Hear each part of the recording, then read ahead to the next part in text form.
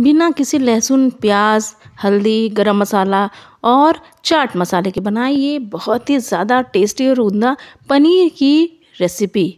जी हाँ ये व्रत की स्पेशल रेसिपी है। महाशिवरात्रि में भी आप खा सकते हैं। अगर तो नमक नहीं खाते हैं तो उसको आप स्किप कर सकते हैं। आप इसमें मूंगफली का तेल ले सकते हैं और उसके बाद जब तेल कम से कम दो तीन टेबल स्पून लीजिए गर्म हो जाए तो मैंने इसमें डेढ़ सौ ग्राम पनीर और दो उबले आलू लिए हुए हैं, उसको डाल दिया। और उसको महीन महीन किसी भी शेप में कट करके आप डाल सकते हैं। इसके लिए कोई बाध्यता नहीं है। जब ये थोड़ा सा भुन जाए, यानी अगर आप इसको फ्राई करना चाहें तो फ्राई भी कर सकते हैं। थोड़ा सा पिंक कलर का हो जाए, तब इसमें आप लाल मिर्च पाउडर थोड़ा सा डालिए और थोड़ा सा धनिया पाउडर यानी भुनी पिसी धनिया है ये, इसको डालिए और थोड़ा सा जीरा पाउडर ये भी भून के पीस लीजिए, उसको डालिए। दोनों चीज़ें और थोड़ा सा कम मिर्च डालिए। उसके बाद नमक, यानी सेंधा नमक, जो आप व्रत में अगर खाते हैं तो डालिए, नहीं खाते हैं तो आप स्किप भी कर सकते हैं।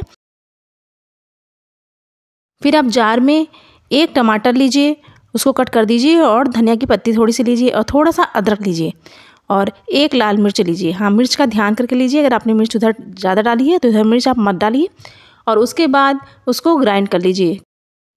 खूब महीन सा पीस दीजिए, बिना पानी डाले। और फिर आप देखिए, स्पून से उठाकर मैं दिखा रही हूँ, इस तरह का ये पेस्ट हो जाएगा। इस पेस्ट को इसमें डाल देंगे।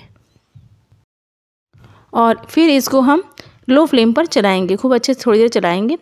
जब इसको पूरी तरह से मिक्स कर लेंगे, इसमें कुछ भी नहीं है, केवल टमाटर और धनिया की पत्ती, इसका कमाल है और उसके बाद इसमें थोड़ा सा जब पक जाएगा, कम से कम दो तीन मिनट तक खाली इसको पकाना है। ये पाँच मिनट की ही रेसिपी है। और उसके बाद इसको फटाफट ये बन जाती है।